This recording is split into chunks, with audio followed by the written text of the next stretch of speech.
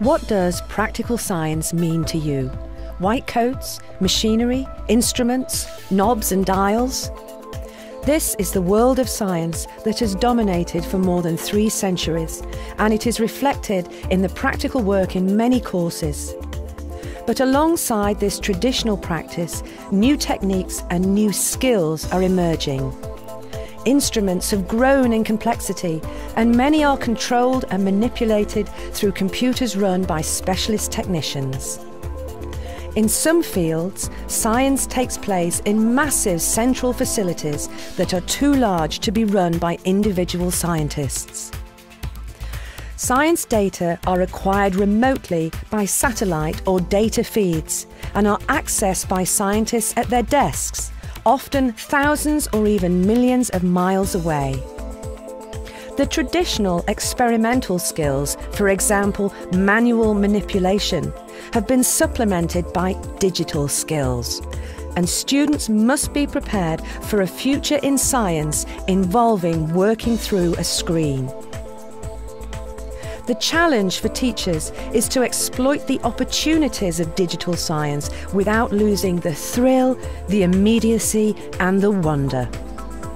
The Open University has enthusiastically taken up that challenge for learning and teaching to develop the Open Science Laboratory, a virtual laboratory and field centre for practical science the Open Science Laboratory is open to universities, schools, and the public, making the world of science accessible to more people, including those in emerging economies.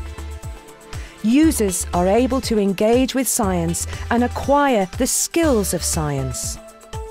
The virtual microscope replicates the controls in a conventional microscope where slide sets, for example, of Martian rocks can be accessed by students anywhere. They can be working with specimens that cannot be distributed to individual universities. Our activities are based wherever practicable on real data. The virtual lab rat replicates the behaviour of real specimens, minimising the use of animals in teaching. Astonishingly rich data can be accessed from remote sites. Students can work with the same data sets that are analysed by today's professional scientists. The geology of Mars is open for study. Real labs with inherent risks can be reproduced. Gaming technology allows the student to explore that environment, interacting with real data that is played out through the virtual interface as in our avatar led geological field trip to the Lake District and through our virtual chemistry labs. Citizen science involves distributed data gathering and invites members of the public to get involved. iSpot helps anyone to identify anything in nature, and our TreeZilla application is a nationwide tree survey to map all of Britain's trees and measure their environmental benefits. Situ8 is a tool for collecting and sharing geotagged field data in outdoor environments. Activities and inquiries, be they five minutes, five days, or much longer, are carefully structured to provide unique learning experiences. Students are also able to devise their own scientific investigations using our nQuire tool.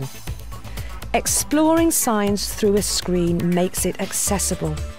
The Open University, working with partners in the UK and overseas, can transform the learning of practical science and bring students closer to authentic frontiers.